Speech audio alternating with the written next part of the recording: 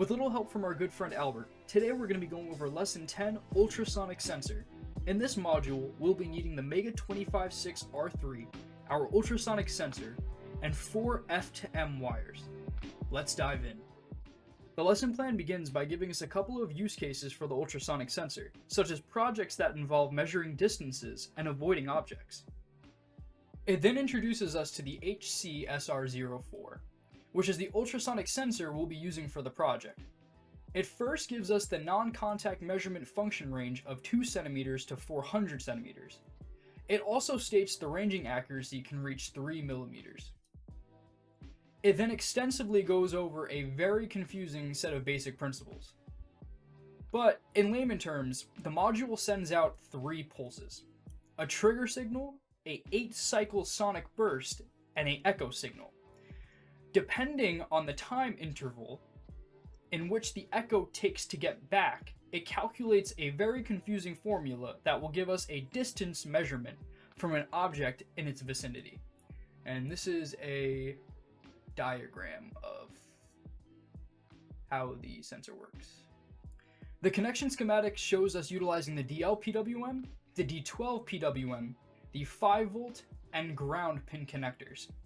The D12 PWM controls the trigger signal, the D11 PWM controls the echo signal, the 5 volt provides the sensor with power, and the ground connector connects it to ground.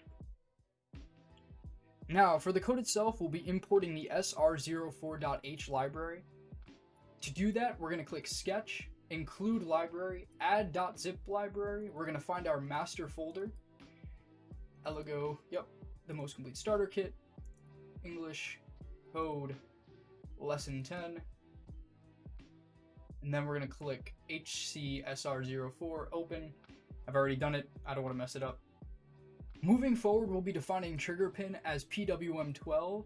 We'll be defining echo pin as PWM11.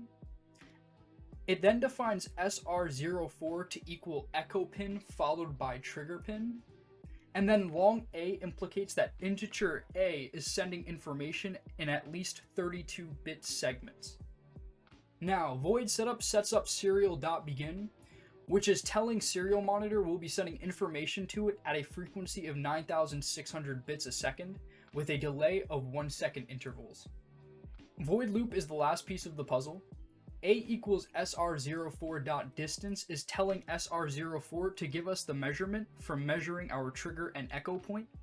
Serial.print A is ensuring that we print our measurement to the serial monitor in 32-bit segments at the least serial.println uh, centimeter sends the information in a new line every time, and in between that, there's a delay of one second before printing that new information to the serial monitor. Okay, with that out of the way, let's build it.